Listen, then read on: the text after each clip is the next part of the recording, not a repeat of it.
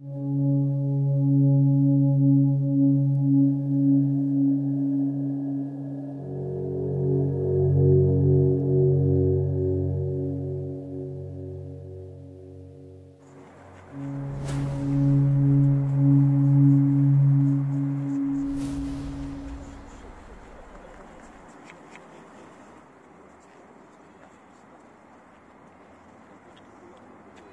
имя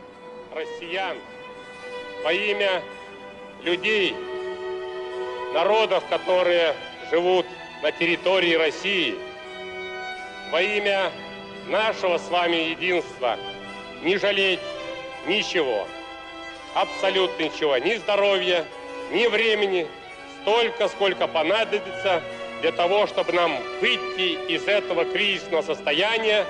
и все-таки повести Россию к лучшим временам.